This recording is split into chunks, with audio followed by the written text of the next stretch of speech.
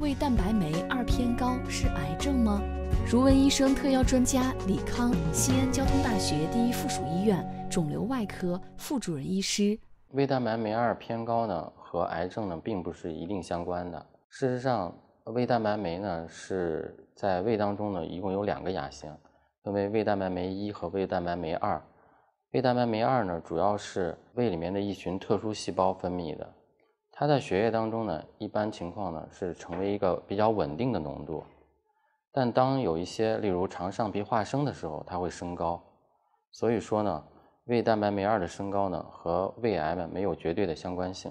事实上，胃蛋白酶二呢和胃底黏膜的一些病变是有关系的。如果要诊断胃癌的话，它的金标准呢就是应该去做一个胃镜。如果长时间出现的胃部不适呀，或者是消化不良的时候，然后这个时候呢你去做个胃镜呢，更能够明确到底是不是胃上的疾病或者胃癌。